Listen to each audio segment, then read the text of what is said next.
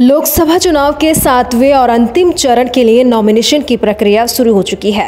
इसमें पूर्वी उत्तर प्रदेश की वाराणसी लोकसभा सीट पर अंतिम चरण में मतदान होना है। इस सीट से भारतीय जनता पार्टी के टिकट पर प्रधानमंत्री नरेंद्र मोदी खुद चुनावी मैदान में हैं। बता दें कि प्रधानमंत्री मोदी वाराणसी से मौजूदा सांसद और बीजेपी उम्मीदवार हैं। कांग्रेस ने यूपी पार्टी प्रमुख अजय राय को वाराणसी से मैदान में उतारा है। पीएम मोदी वाराणसी सीट से आज नॉमिनेशन करेंगे। पीएम मोदी के नॉमिनेशन को भव्य और ऐतिहासिक बनाने के लिए बीजेपी और और उसकी अगुवाई करने वाले एनडीए ने पूरी ताकत झोंक दी है। पीएम मोदी के नॉमिनेशन में बीजेपी के साथ ही एनडीए के कई कद्दावर नेता भी शामिल होंगे।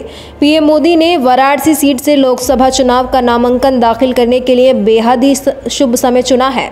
प्रधानमंत्री मोदी आज वाराणसी लोकसभा क्षेत्र से अपना नामांकन भरने से पहले गंगा नदी के किनारे दशमा वेद घाट पर वैदिक मंत्रोच्चारण के साथ पूजा अर्चना व आरती की।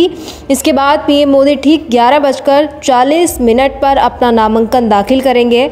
चौदह मई को इस समय पर नामांकन दाखिल करने के पीछे एक विशेष कारण है। सबसे पहले उन्होंने चौदह मई को चुना क्योंकि इस दिन को गंगा सप्तमी के रूप में मनाया जाता है। इसको हिंदू धर्म में बेहद ही पवित्र दिन माना जाता है। वहीं आपको बता दें कि प्रधानमंत्री के इस मेगा शो में बीजेपी के दिग्गज व एनडीए के नेता भी शामिल हो रहे हैं। इसमें 12 राज्यों के मुख्यमंत्री शामिल हो रहे हैं। वाराणसी लोकसभा सीट से पीएम मोदी तीसरी बार अपना नामांकन पत्र दाखिल करने जा रहे हैं। पीएम मोदी के नॉमिनेशन के लिए बीजेपी के कई दिग्गज नेता वाराणसी में हैं। गृह मंत्री अमित शाह और रक्षा मंत्री राजनाथ सिंह भी पीएम मोदी के नॉमिनेशन में शामिल होने पहुँच चुके हैं।